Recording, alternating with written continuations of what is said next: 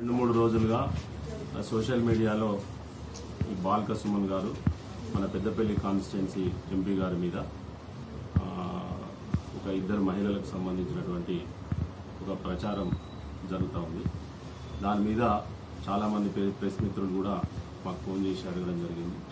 అసలు ఈ కేసు ఏంది సార్? ఏం జరిగింది అని చెప్పడం అడగడం మూలంగా. అందరికి కూడా ఒక అసత్య ప్రచారం అందులో మేము కూడా టెక్స్ట్ చదవడం జరిగింది. అది ఆ రూమర్స్ని క్రియేట్ చేసి లేని అసత్యమైనటువంటి వాటిని ఏదో నిజమైనటువంటి వాటిగా ప్రచారం కల్పిస్తూ ఉన్నారనే ఉద్దేశంతో అసలు మా దగ్గర జరిగినటువంటి ఈ ఈ సంఘటనలు జరిగిన ముందు జరిగినటువంటి విషయాల పట్ల మాకున్న అవగాహనతోటి ఇక్కడ మేము చేసినటువంటి కేసు ఇన్వెస్టిగేషన్ యొక్క వివరాలు మేము ముందు చెప్పదలుచుకున్నాం. దాదాపు జనవరి నెలలో ఇరవై ఏడు ఒకటి పద్దెనిమిది రోజున ఎంపీ సుమన్ గారి యొక్క ఆ, అనుచరులు నా దగ్గరికి ఒక పిటిషన్ తీసుకొని రావడం జరిగింది. ఆ పిటిషన్ సారాంశం ఏంటంటే ఈ మంచిర్యాల పట్టణానికి సంబంధించినటువంటి బోయిని సంధ్య బోయిని విజేత ఇద్దరు అక్క చెల్లెలు. అక్కకు భర్త చనిపోయిండు పిల్లలు ఉన్నారు చెల్లెకు పెళ్ళి కాలేదు. సంధ్య చెల్లెల పేరు సంధ్య అక్కయ్య పేరు విజేత. వీళ్ళిద్దరూ లో చెల్లె ఎంపీ గారు తన భార్య కొడుకుతో దిగినటువంటి ఫోటో.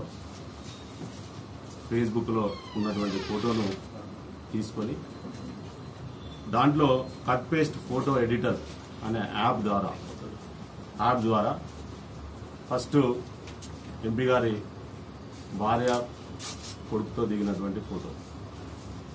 ఇది ఒరిజినల్గా తను దిగినటువంటి ఫోటో.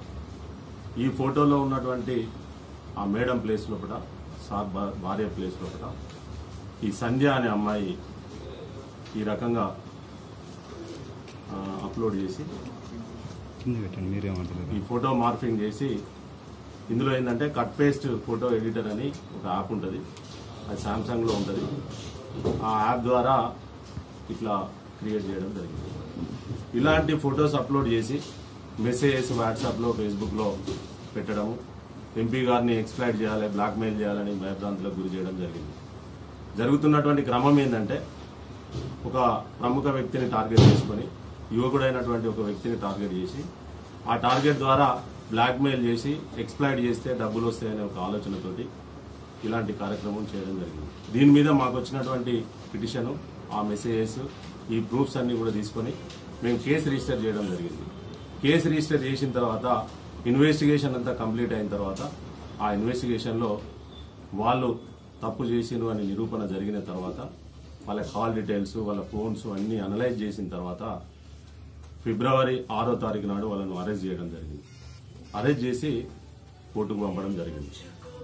ఇది జరిగిన తర్వాత ఈ మధ్య కాలంలో మళ్ళీ హైదరాబాద్ కేంద్రంగా చేసుకొని అక్కడ ఎంపీ గారు ఉన్నటువంటి ప్రాంతము అక్కడ ఉన్నటువంటి తెలంగాణ రాష్ట్ర టీఆర్ఎస్ భవన్ దగ్గర. ఆయన ఎక్కడైతే తిరుగుతాడో అక్కడ ఆ ప్రదేశాలకు వెళ్ళి అక్కడ కూడా మళ్ళీ మెసేజెస్ లోడ్ చేయడము అక్కడ కూడా మళ్ళీ అతను ఇదే విధంగా ఎక్స్ప్లెయిన్ చేయడానికి ప్రయత్నం చేయడం జరిగింది.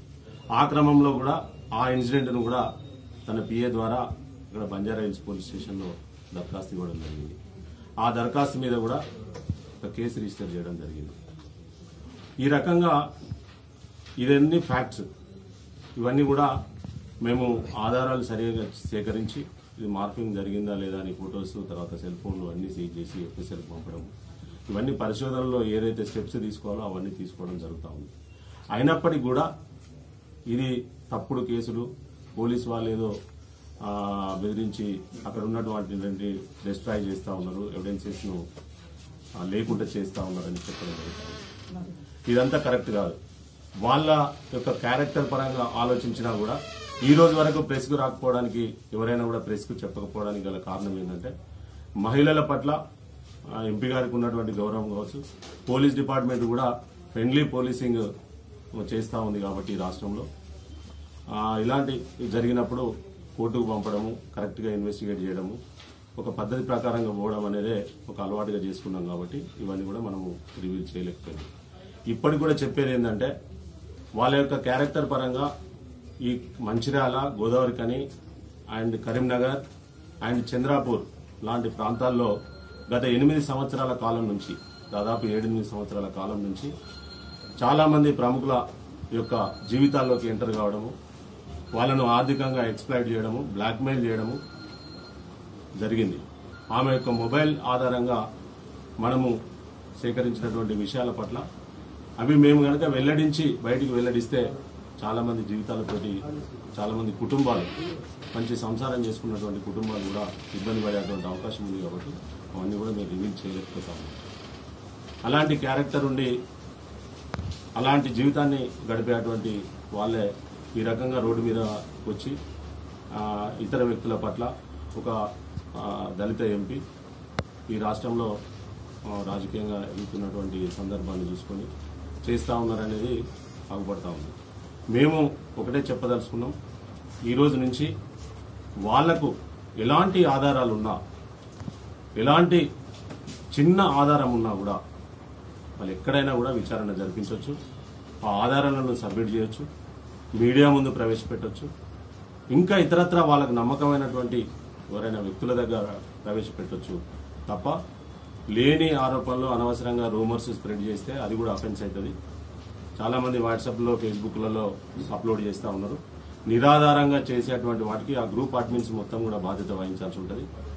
ఖచ్చితంగా చట్టపరమైనటువంటి చర్యలు వాళ్ళ మీద కూడా తీసుకోవడం జరుగుతుంది.